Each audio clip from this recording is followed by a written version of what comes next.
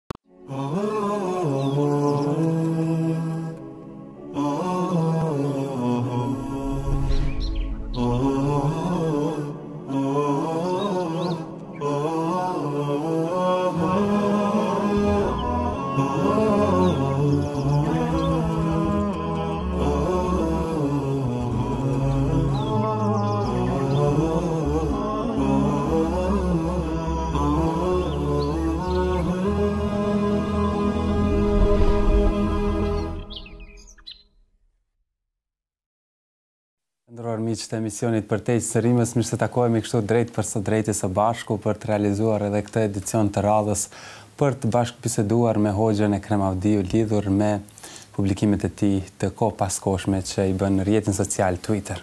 Hoxhë, mirë se erdhe. Mirë se takohemi Hoxhë. Hoxhë, kemi zgjedhur disa prej cicërimave, por sot do të fillojmë me atë që keni shkruar më herët, keni thënë mos lejoni asnjërin të na ndajë në ne dhe ju apo ata. Çdokush që ia do të mirën këtij vendi bën pjesë në shoqërinë e madhe, ne. Çfarë keni dashur të thoni me këtë? Së pari më thuaj ti Bujar a, nuk e kom thonë mirë.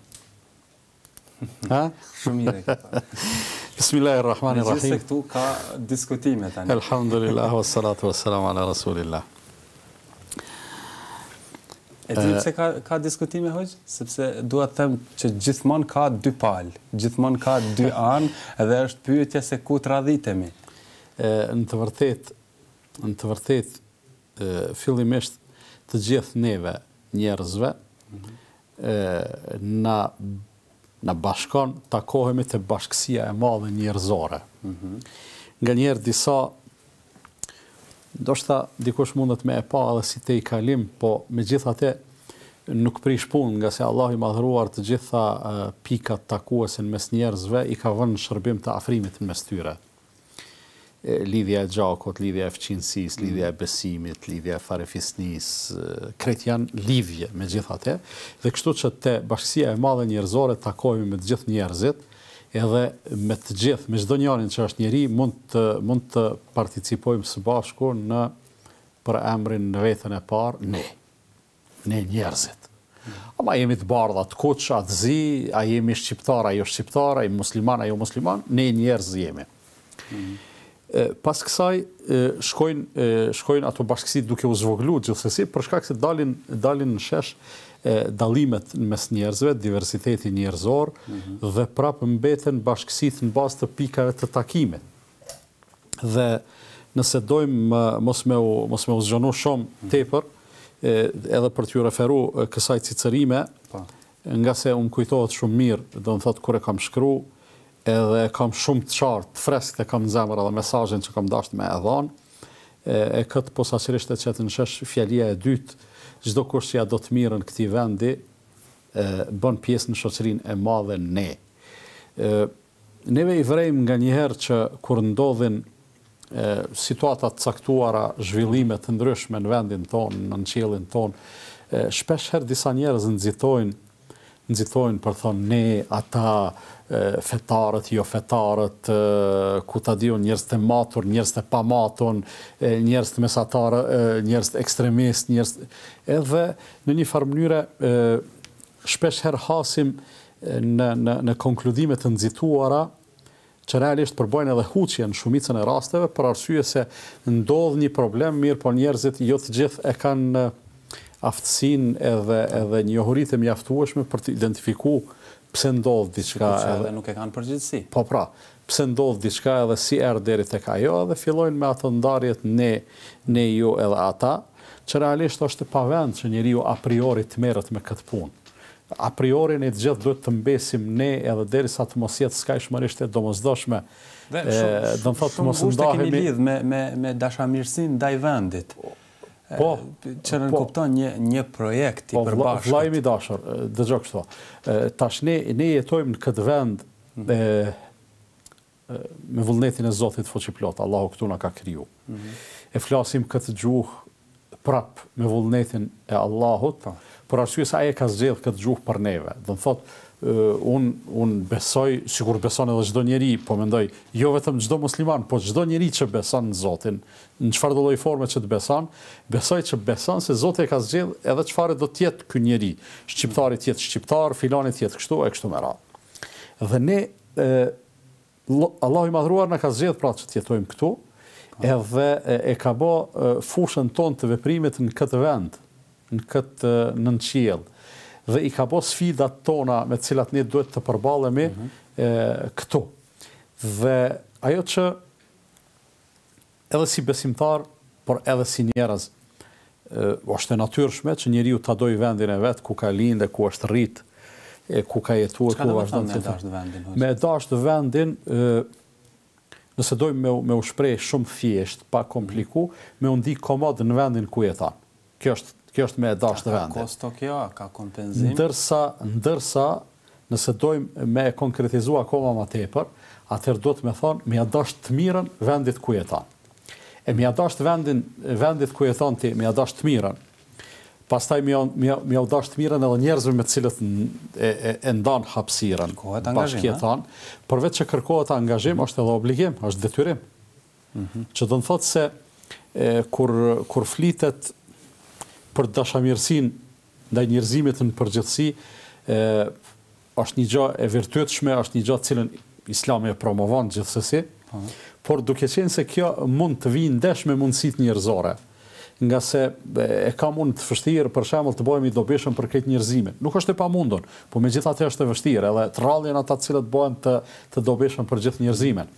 Por nuk e kam të vështirë të bëhem i dobishëm për rrethin tim.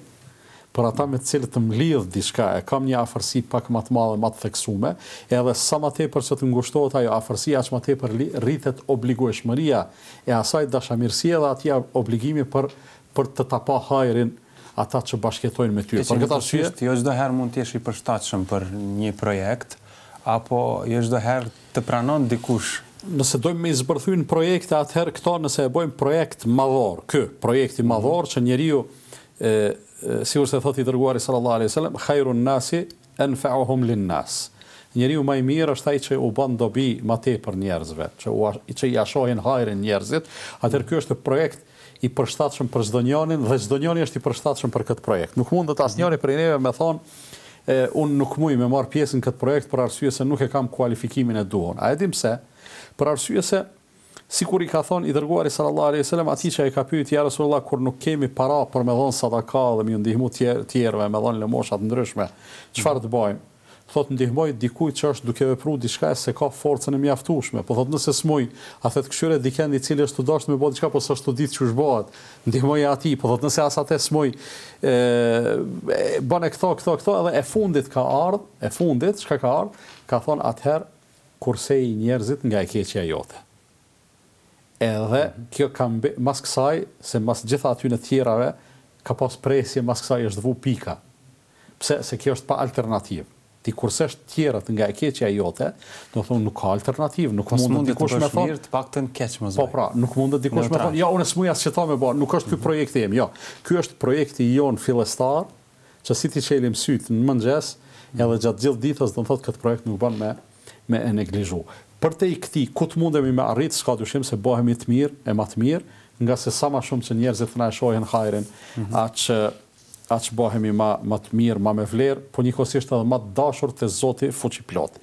Dhe duke qenë se të gjithë njerëzit, pa përjashtim, e, së paku deklarativisht i, trum, i trumpetojnë kësaj dashamirësisë mhm. ndaj vendit, dashamirësisë ndaj, ndaj atyre me të cilët bashkëjetojmë, ndaj bashkëkombasve e kështu me radhë, Kjo mendoj njerëzit natyrshëm e kuptojnë edhe e llogarisin si patriotizëm. Mendoni që ka njerëz që nuk e duan vendin, hoxhë? Vendin e vet? Besoj që ka, por nuk ka të atillë që kanë guximin me dalë edhe me me me me proklamu unë nuk e du. Ose nuk është punë ndoshta guximi sa natyrshëm duhet me e dashtë vendin, po ndoshta ai ai edhe punon kundër interesave të vendit. Për këtë arsye, deklarativisht krejt jemi patriotë. Mirëpo në praktikë nuk jemi të gjithë patriotë. Ndërsa unë mendoj se ndoshta cenimi më i madh ose ndër më të mëdhejt që i bohen patriotizmit mhm. apo edhe të mirës të përgjithshme në përgjithësi është kur dikush synon që njerëzit t'i fragmentarizojë edhe ato çka mund ta arrijnë të gjithë së bashku të mos lejojë që ta arrijnë për shkak se i përçan ata duke i nda në Ne, ju, ata e kështu me radhë. A keni pasur ju, meqë edhe keni shkru këtë thënie në një situatë të caktuar, edhe thoni që më kujtohet kur e kam shkruar, a keni pasur ju situata kur keni dashur të ofroni më shumë për vendin tuaj, por nuk keni mundur? Jeni penguar ndoshta? Shif, a din çka më pengon mu ma tepër se kjo? Realisht, asnjoni prej neve nuk mundet me nuk mundet me thonë unë e përmbusha misionin tim, bona mirë aq sa munda edhe nuk ka ma hapësirë me bo ma tepër. Javën e kaluar keni thënë që do të doja që dikush të jetë para meje që që ta synoj pastaj. Po edhe edhe kjo është, edhe kjo lidhet me atë çka çka po thu ti, po qëllimi çka është? Qëllimi është se nuk mundet dikush me me u bo ma i vlefshëm se se shoqëria. Ma i vlefshëm se ummeti, ma i vlefshëm se populli, ma i vlefshëm. Nuk muj unë me u bo ma i miri dhe me thonë, o njerëz, qofshit ju familjarët e mi ose farefisi im ose njoftësia ose shoqëria ose kombi im ose ose ummeti im, unë gjithë unë unë jam jam jam shkarku nga obligimi dhe borxhit që kam ndaj juve, nuk muj me m'i dhonë Zoti pesëqind vjet ymër edhe krejt shërbim me i bo, nuk muj me thonë e bona punën si duhet. Sikur edhe në ibadet njeriu një mijë vjet me jetu edhe krejt me i kalu në ibadet nuk mund me thonë unë e bona ibadetin edhe s'ka mbet mo edhe një pikë me e qit në ibadet jo njeriu megjithatë aq sa ka jetë aq ka obligime qëllimi çka është qëllimi është që ne të mos në asnjë mënyrë të mos pretendojmë se ka dikush monopol në mirësi ose bamirësi, ose quje dashuri ndaj vendit, ose quje patriotizëm, ose quje dikush ka hise në këtë vend ma shumë se dikush tjetër, edhe unë tash që kam hise ma shumë, ose pretendoj që kam hise ma shumë, jam ma superior se ti, ndërsa ti, ti, ti bën pjesë në ata, nuk bën pjesë në ne. Nuk e kemi këtë të drejtë me i kualifiku njerëzit në këtë mënyrë. Realisht... A ndodh ky kualifikim te ne? shoqërinë tonë? Po, ndodh, ndodh shpesh. Ne i shohim, po mendoj ka tendenca që realisht janë të rrezikshme, nuk janë të mira hiç, mm. edhe janë të dëmshme që ndodhin gjithsesi njerëz, ndoshta edhe qarqe të caktuar që përpiqen që që shoqërinë përgjithësi ta ta fragmentarizojnë në këtë mënyrë, ë sikur i kemi me thonë zhvillimet e fundit, ë ajo loja me loja me tradhtarin e kombit. Domethënë lojnat e këtilla nuk janë të rralla. Ndoshta forma forma e këtyre lojnave ndryshon. Nganjëherë është loja me po e zomë, me ekstremizmin fetar ose me terrorizmin, tani vjen loja me tradhtarin e kombit, kush e di çfarë loje tjetër ka me ardhë e kështu me radhë, edhe këtu tani ajo ajo gjuetia në mjegull që realisht Unë mendoj se është mjaft e tejdukshme sa për të sa për të konkludu se e ka një synim, e ajo është me e eliminu ate që s'ta ka ëndja, s'e ki në qef, pamvarsisht a e meriton a nuk e meriton, prodhoje një etiketë, mundohu atij me ja ngjit edhe ai do të eliminohet me pretekstin se është kështu ose ashtu. E kjo gjithsesi është është e rrezikshme për arsye se e prodhon një e prodhon një pasojë e cila është shumë e madhe, ajo pasojë Bujar është që e ki huqje, ki huqje nuk merresh me luftimin e asaj që përnjëmend e rrezikon shoqërinë. Nëse themi e, terrorizmi e rrezikon një shoqëri, kur keqpërdoret lufta ndaj terrorizmit për të eliminu dikend të cilin Nuk e ki n'hoj thjesht, atëherë ke huqen luftimin e terrorizmit, për arsye se merresh me ate që nuk është terrorist e nuk merresh me ate që është terrorist. Kur thu tradhëtari i kombit, posaçërisht këto këto përdoren posaçërisht në qarqe të caktuara, gjithsesi e shyqyr Zotit që janë të kufizuara, por përdoret për për për kundërshtarët politik e kështu me radhë. tregohet shkujdesje ndaj atyre që përnjëmend punojnë kundër interesave të vendit edhe të kombit. E kështu që njeriu duhet me konë i matun edhe askujt mos me i dhonë hapsir ose askujt mos me ja cenu hapsiren e cila natyrshëm i takon. E, a duhet, a, tash po këthena, po i referohna asaj për shka jam i thirun me fol, po. e, a duhet ne Edhe si fetarë, si muslimanë që jemi, të jemi patriotë edhe dashamirës ndaj të gjithëve, padyshim se po, madje jo vetëm kaq, por ne jemi, me thonë ma të thirrunit për me qenë të këtillë, ndërsa ne kemi një motiv ma tepër se ndoshta çdokush tjetër, për çfarë arsye, për arsye se Allahu i Madhëruar na e ka kushtëzuar kësisoj, nuk mund të bëhemi të mirë me Zotin nëse nuk jemi të mirë me njerëzit. Lexojmë një tjetër thënie, Kur ta dëgjosh dikë duke të lavdëruar rrejshëm, mos u ndije i sigurt që edhe të t'akuzojë rrejshëm. Dy anë tjera. A është gjithmonë kështu, hoxhë? O, fillimisht duhet me thonë që unë nuk e pas kam thonë këto, e pas në marë dikon, po pra.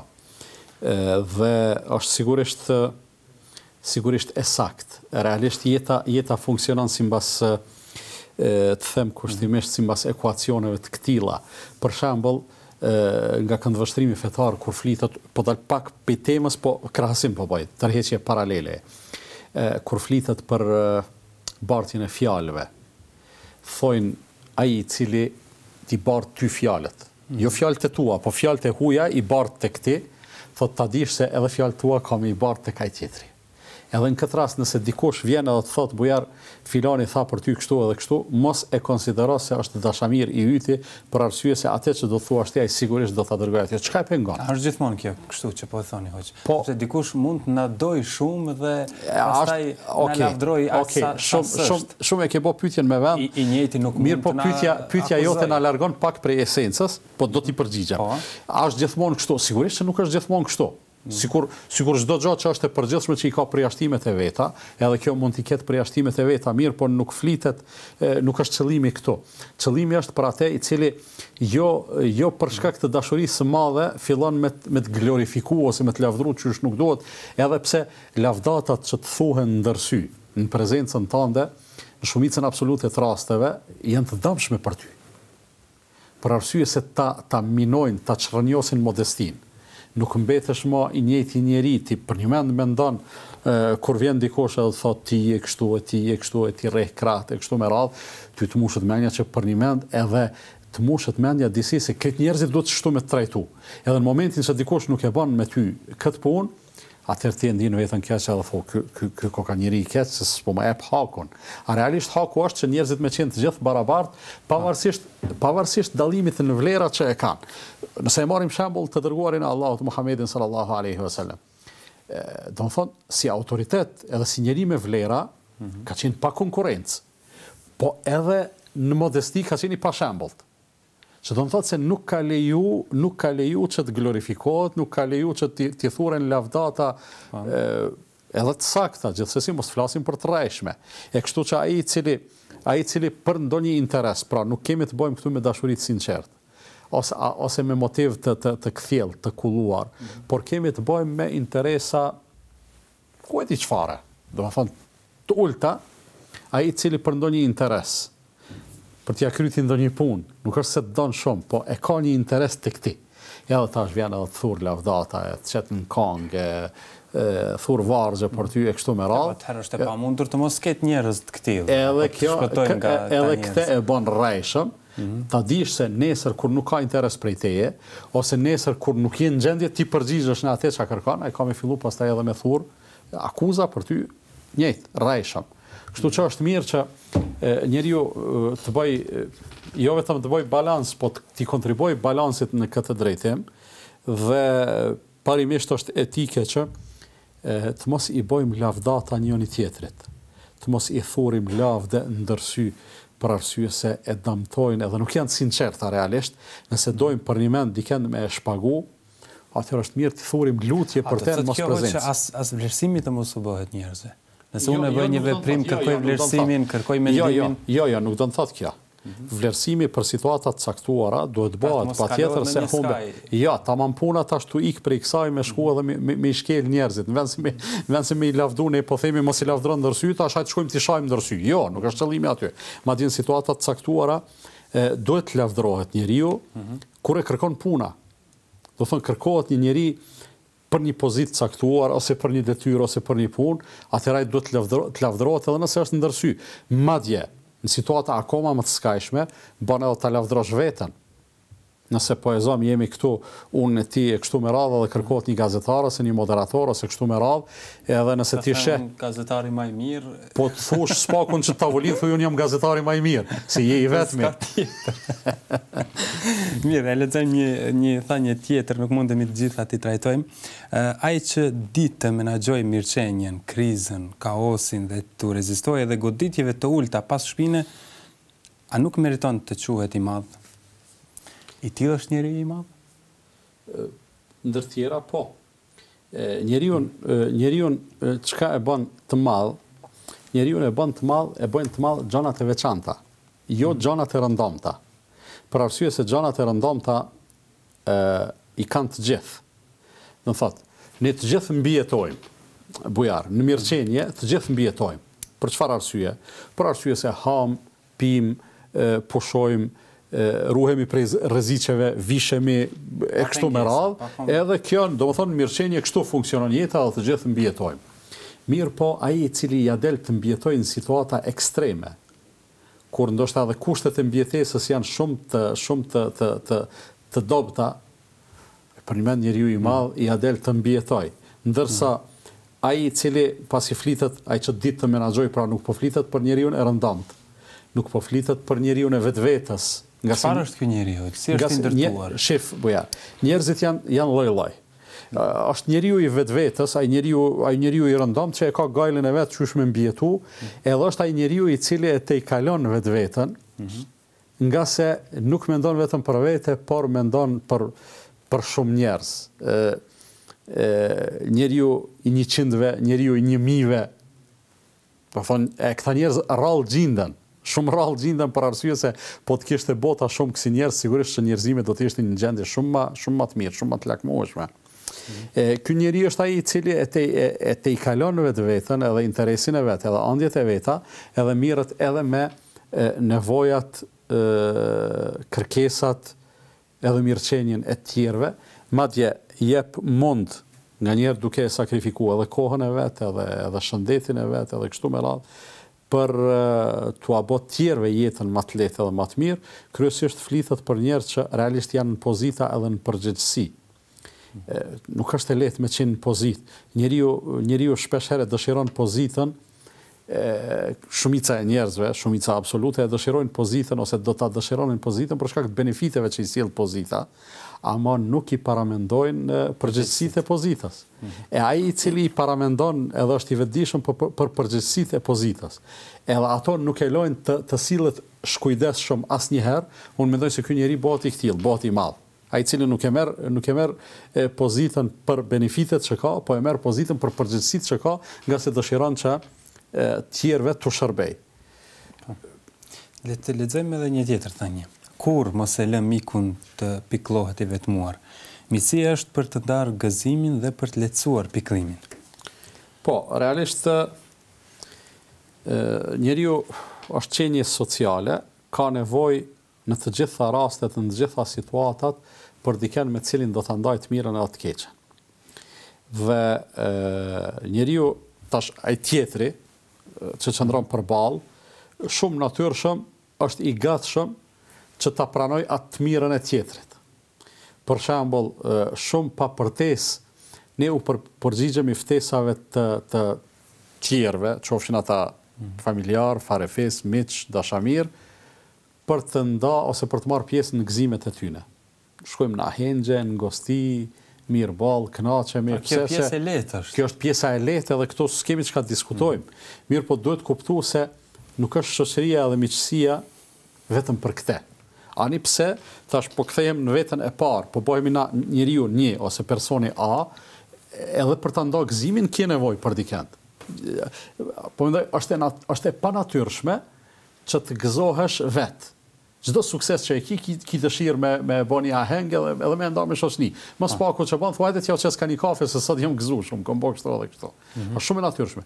Mirëpo, është edhe ajo ana e kundërt që madje njeriu shumë ma tepër ka nevojë për te, që kur është në gjendje të krizës, ose kur është në gjendje të pikëllimit, ose kur është në gjendje të mërzisë, që t'i gjindet dikush afër edhe t'ia lehtësojë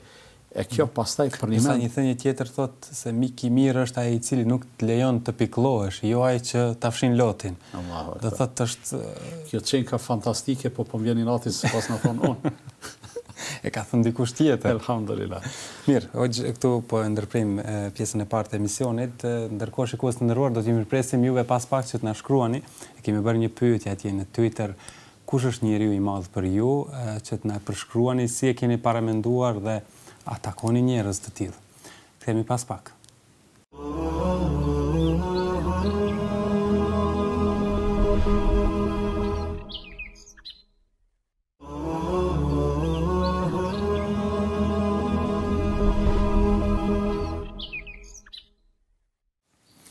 Vazhdojmë tutje shikues të nderuar, tani është koha që t'ju mirëpresim juve të na telefononi, të na shkruani, ndërkohë regjia më njofton se e kemi telefonuesin e parë në linjë, e mirëpresim, alo? Alo? Alo? Urdhno? Alo? Po? Do shta mi abu fikë hoqës. Po?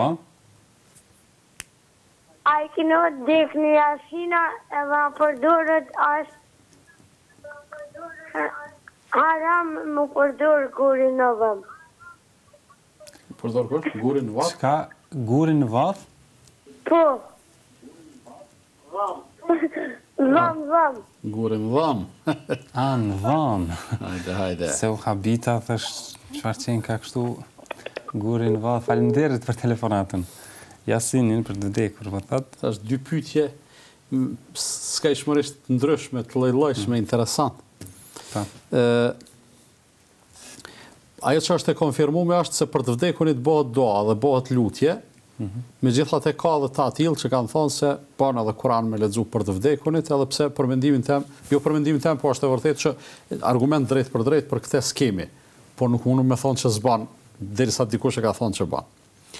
E te guri në dham, nëse është fjala për disa gurë që i vendosin për për stoli, nuk di ndonjë përgjigje. Po mendoj nuk di ndonjë ndalesë, po ma mirë e pyetni dikend që din ma mirë. Po, qartë, a kemi telefonatë tjetër? Alo? Alo? Urdhnoni?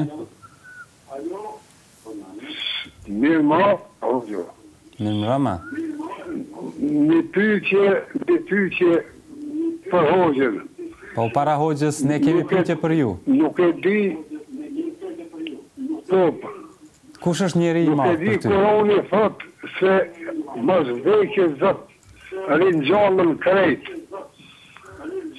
A thu do të ringjallen vetëm ata njerëz që janë xhenetli apo njerëz të këqij do të jesin prap në xhehnem? Po nëse ringjallen të gjithë Edhe toka s'do t'i zë, planeti, me çka do të ushqehen ata njerëz. Mirë, faleminderit. Megjithëse ne ju pyetëm, por ju nuk arritët të na përgjigjeni. Faleminderit për telefonatën. Çështja e ringjalljes, hoxhë. Po. Po shumë mirë ke ajo konkludimi në fillimin e pyetjes, thotë Kurani thotë se njerëzit do të ringjallen të gjithë, pra do të ringjallen të gjithë. Me çka do të ushqehen ata të cilët gjithë ata njerëz? Me çka ushqehen sot gjithë këta njerëz që i ka dunjaja? Me çka ushqehen 7 miliard njerëz? Ai i cili ka mundësinë me i ringjall, ka mundësi edhe me i rahatu të gjithë sipas asaj që e ka parapa Allahu i madhëruar. Një shikues shkruan, Njeri i madh për mua është njeriu i cili din të shoqërohet me njerëz më të mençur se vetja. Pajtohem, ngase ai i cili shoqërohet me njerëz më të mençur edhe më të ditur, është, mendoj, në rrugën e duhur për t'u ngritë, e tu u ngritë bëhet njeri i madh. Qartë, e marrim telefonatën, alo?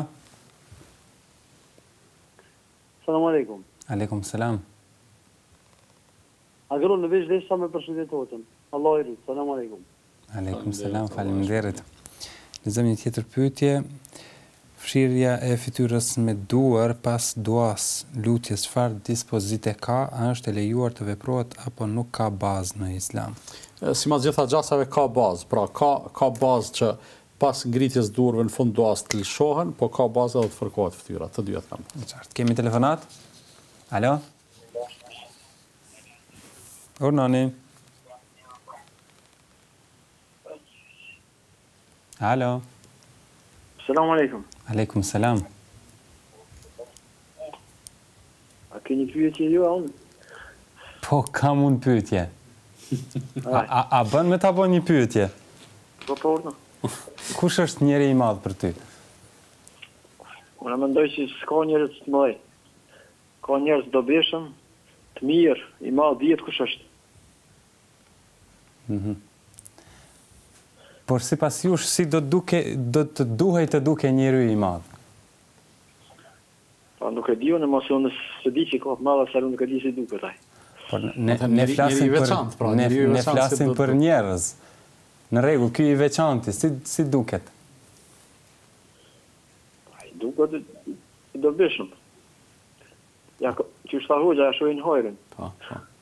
Faleminderit shumë. Tani a keni ju pyetje për Hoxhën? Kjo është për hadithin pejgamberi selam që ka thon halali është i qartë, harami është i qartë, mes tyre ka gjëra të dyshimta. Po. Shumë njerëz nuk i dinë ato e tjera e tjera e din hoxha deri në fund. Po, mu po më intereson hoxha me na dhon disa shembuj për gjëra të dyshimta që i kemi sot në jetën tonë praktikisht. Mm -hmm. Që shihen edhe nuk janë të qarta, nëse janë çfarë janë. Edhe dyta është Po. Po ka shumë për hadithin tjetër Zemra, po, e qeshura e tepërt e vdek zemra. Mm -hmm. Selamu alaikum. Aleikum, selam. Pra rreth halalit, haramit, që janë të qartë. Po, fillimisht, Më pëlqej perceptimi i shikuesit të nderuar. Po mendoj, pavarësisht sa pajtohemi në atë, a ka njeri të madh, a s'ka njeri të madh, është shumë e vërtetë që ajo madhështia reale dhe e vërtetë i takon Allahut fuqiplotë, edhe njeriu. Ne flasim për njerëz. Po pra, njeriu çfarë do që çfarë do që të arrijë, megjithatë mbetet njeri edhe i vogël. Mirpo në kuadër të asaj, në atë relativen njerëzore, mund t'i themi i madh ose ose i veçantë ose s'ka rëndësi si e quajmë, Po, një përgjigje interesante të dha Bujari. Madhështia e njeriut pra qëndron se sa është ai i dobishëm për llojin e vet. Edhe po mendoj për mua kjo përgjigje është e mirë, fantastike. Sikur të na telefonojnë kështu të gjithë shikuesit. Alhamdulillah, po tash të japin të japin mendimin po, e tyre të paktën. Ë te hadithi po. Ue bejnehuma umurun mushtebihatun la ja'lemuha kethirun minen nas, në mes halallit edhe haramit, ka gjëra të paqarta, të cilat shumica e njerëzve nuk i dinë. E tash kjo pjesa shumica e njerëzve nuk i dinë, në një farë mënyre është komentues për atë pjesën më herët, të paqarta pra nuk qenkan n'esencë të paqarta, po për masën e gjanë munën me qenë të paqarta e pastaj njerëzit e ditur, pra ata që i dinë, ia qartësojnë edhe atij që nuk e ka pas të qartë, ia qartësojnë se kjo punë është ose e lejuar ose ose e ndaluar. Dhe po shembuj të kësaj mund të themi mund të ketë domethënë mund të ketë gjëra të cilat ndoshta mund të mos jenë haram për shkak të ndonjë citati drejtpërdrejt, po mund të jetë haram për shkak të ndonjë analogjie që kanë bërë dijetarët ose për shkak të një dispozite që e kanë nxjerrë e cila ndoshta njeriu kur e lexon citatin, ajet apo hadith nuk mund ta kuptojë sipërfaqësisht, por dijetari e kupton thellësisht aludimin e kështu me radhë. Tash nuk po nuk po më vjen mend ndonjë shembull shumë konkret për këtë punë, mirëpo ajo që mendoj se është e rëndësishme të thuhet këtu është se nuk nuk janë gjona që mbesin të mjegullta dhe të paqarta. Janë të paqarta për masën, për njerëzit e rëndomtë, për njerëzit që nuk studiojnë, mirëpo edhe ai, domethënë, edhe ai që është i këtillë, kur dëshiron ose kur interesohet për me e marr vesh, ka mundësi me e gjetë atë që ia bën të qartë, ngase Allahu i Madhëruar nuk na ka obligu me dispozita të mjegullta dhe të turbullta. Këto dispozitat i ka bë i ka bë të qarta. Qeshja. Kathratu dhahki tumitul qalb Po, i Dërguari salallahu alejhi ve sellem ka tërheqë vërejtjen, ka thënë, Mos e teproni me të qeshur, se të qeshurit e tepërt ta bën zemrën të vdesë. E, kur flitet për gjallërinë dhe vdekjen e zemrës, sipas gjitha gjaseve, e, ka të bëjë me lidhjen e fuqishme të asaj zemre me Allahun fuqiplotë, e, dhe zemra e gjallë, Do të thotë sa më e lidhur me Allahun është ma e gjallë zemra, po sa ma e lidhur me Allahun, ai zemër është më ta quaj ma e frikësuar. Gjithsesi, nuk ban t'i mungojë shpresa, mirëpo nuk nuk di, nuk ndin komoditet të mjaftueshëm sa për të qeshë shumë, sa për ta tepru me të qeshën. Në anën tjetër kur kur zemra vërtet ose kur personi e e e lëshon veten shumë në në në në komoditet, në relaks, në të qeshur, në dëfrim, e kështu me radhë, atëherë rrezikon që ajo zemër të të largohet prej prej Allahut të fuqiplotë dhe të bëhet e shkujdesshme, e kur zemra të bëhet e shkujdesshme, atëherë kjo është ajo, ajo vdekja ose mungesa e mhm. gjallërisë, edhe e freskisë së asaj zemre. Mirë, vazhdojmë tutje, marrim një tjetër telefonat, alo? Selam aleikum. Aleikum selam. Ndeshta moj kuadronin. Po. Keni pyetje apo do të jepni mendimin tuaj lidhur me njeriun e madh? Me njeriun e madh desha. Po. Unë jam sprovu me një sëmundje dhe kam pa shumë njerëz të mëdhenj. Një prej tyre është bashkëshorti im, familja e burrit, edhe familja ime. Ata më kanë dhënë shumë kurajo për jetë, edhe pse jam e diagnostifikume me kancer, ata më bajnë të ndihem se unë jam shëndosh e mirë. Edhe kisha dashë me i falimderu, mhm. që më kanë ba të mos ndihem që jam e smurë. Na vjen mirë për këte që e pohuat. Kështu që ekzistojnë njerëz të mëdhenj, ekzistojnë njerëz që të bajnë të ndihesh mirë, të japin kurajo për jetë, dhe mos ta ndijsh mhm. veten asnjëherë që ti je e smurë. A mendoni se të rrallë janë këta njerëz?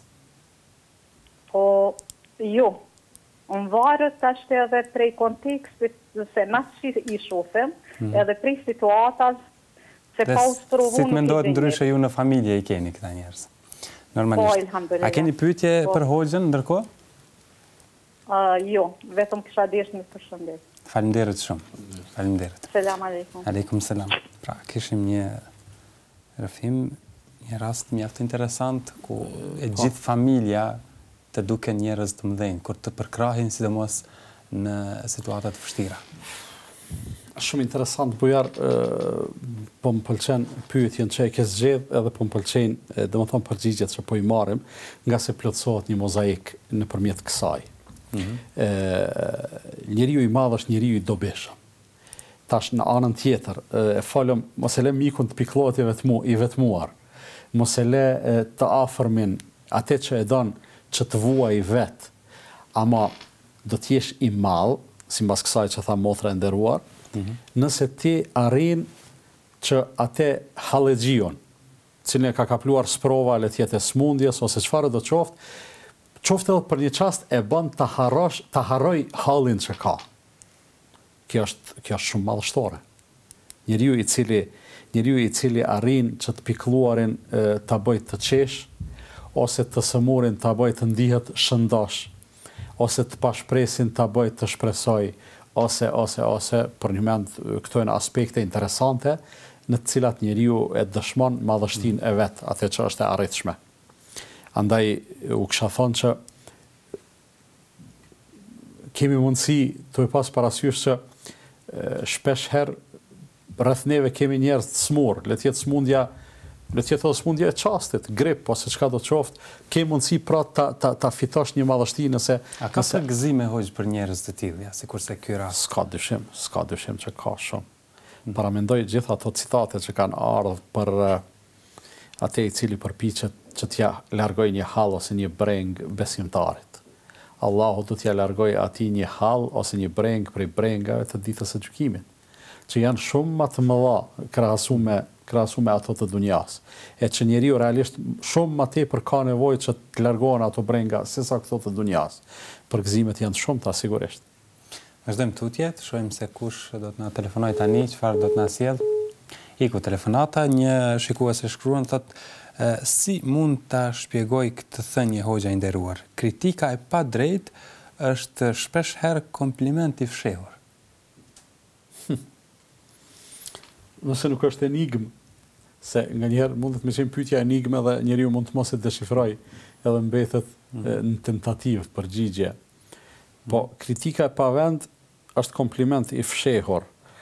Në një farë mënyre. Mund të ndodhë edhe kjo. Po, jo, jo mund të ndodhë, kjo ndodh shumë. Nëse dikush të, të akuzon për diçka prej të cilës ti je, domethonë, i, i, i pastërt edhe i pafajshëm, atëherë në një farë mënyre ata sikur po të tregojnë se ti për shkak se për shkak se je dikushi, për shkak se vlen diçka, ata të kanë vu në shënjestër, edhe nuk kanë mundësi me ta gjetë ndonjë të metë, ndonjë behane, ndonjë vrejtje, e kam fjalën, të atij niveli, të asaj mase çfarë dëshirojnë, atëherë ata fabrikojnë për ty akuza të paqena. Dhe kur të, kur të akuzojnë, pra pa, pa bazë edhe rrejshëm, në një farë mënyre të kanë ngritë.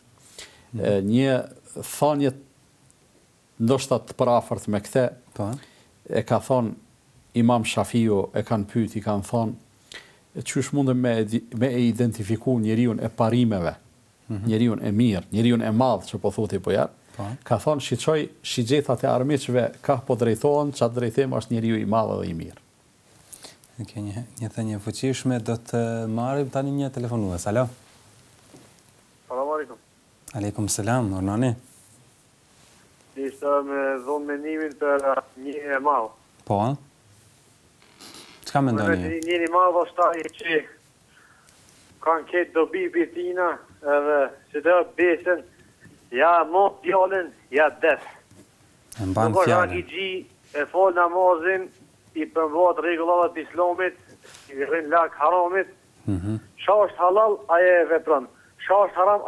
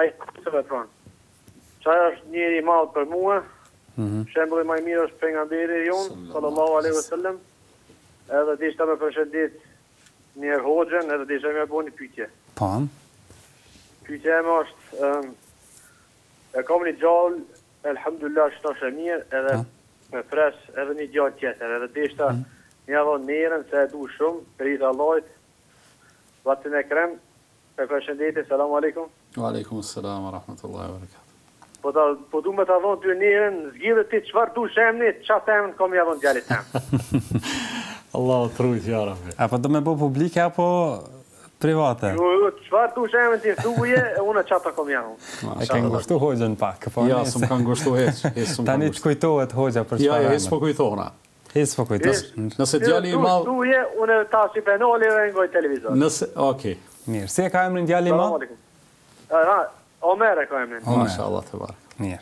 Faleminderit. Selam alejkum. Alejkum selam. Fillimisht e, e dha po. mendimin e tij që po, e mban po, po. fjalën po. njeriu. E mban fjalën edhe u qëndron besnik parimeve, halalin mm -hmm. e trajton halal, haramin haram. Mm -hmm. Edhe tha ashtu sikurse ka qenë pejgamberi sallallahu alejhi wasallam. Shumë e mrekullueshme bujar kur flasim për madhështi, edhe e kemi një shembull konkret, e kemi një model, mm -hmm. edhe Hiç nëse nuk dimë teori, prej atij modeli na mundëm me e marrë se qysh është madhështia. Aishja radhjallahu anha e përshkruan Pejgamberin sallallahu alejhi ve selem se ka qenë njeriu i cili ka qenë njeriu i cili kur ka pasë mundësi me zgjedhë mes gjanave, këto po du si një aspekt me e ndriçu të madhështisë së pejgamberit sallallahu alajhi wasallam, me zgjedh mes gjanave i ka zgjedh gjithmonë më të lehtat. Pra nuk ka shku kah të komplikumet.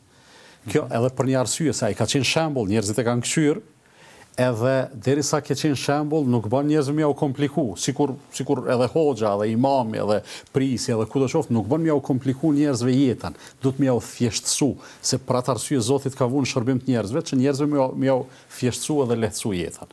E i Dërguari sallallâhu alejhi ve sellem ka qenë kështu, Aisha thotë, kur ka mujt me zgjedh e ka zgjedh ma të lehtën, derisa nuk ka qenë në mëkat, nëse ka qenë mëkat ka qenë njeriu i cili ma s'tepërmi është largu prej mëkatit. Pra njeriu i madh është ai i cili ruhet shumë prej mëkatit edhe shumë prej veprave të liga. Pajtohem plotësisht. E. Djali i madh është Omeri, e, të dytit, të dytin... unë ja kisha lënë emrin Muhamed. Nëse nuk ki naj pengesë domethënë inshallah Allahu të gëzon me te edhe është noshë e mirë masi e lype mendimin tim emër Muhamed shumë madhështor po pra. Emër të këtij burrit madh që e mori edhe shembull. Mirë vazhdojmë tutje të marrim një tjetër telefonatë kemi edhe pak kohë. Urdhnoni. Mirëmrama, lajmërohemi nga Gjermania. Mirëmrama. Kisha një pyetje për hoxhën e nderuar. Po. Së pari ta jap mendimin tim për njeriun e madh që po e thatë. Për mua njeriu i madh është ai prej të cilit familja, familja, shoqëria dhe rrethi ku jeton kanë dobi. Ai është për mu njeri i madh, e pyetja ime për hoxhën është, unë e fali namazin rregullishtn dhe deshta me e pyet hoxhën, kur është ma s'mirti të falet nafile namaz? Fali nafile namaz pas namazeve, mirëpo nganjëherë kam dëgjuar se para drekës nuk bën me u fal, menjëherë pas namazit sabahit nuk bën mu fal,